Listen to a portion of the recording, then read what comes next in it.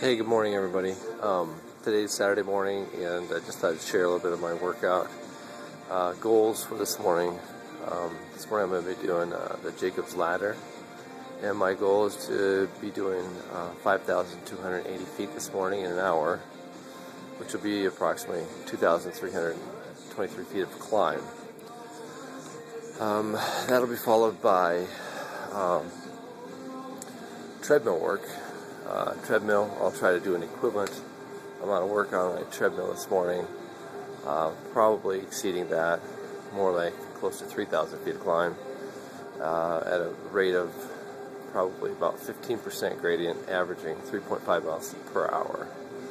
And then lastly, I'll finish up this morning with the, my Expresso bike ride. And uh, that last one on the treadmill, uh, or what's going to be for an hour. And then this morning, uh, one of my favorite uh, pieces here is the Expresso bike. And I'll finish up uh, my last of the three hours on one of these two Expresso bikes here at Anytime Fitness.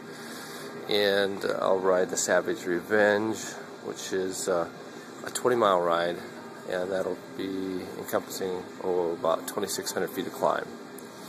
So I'll let you know how it goes later.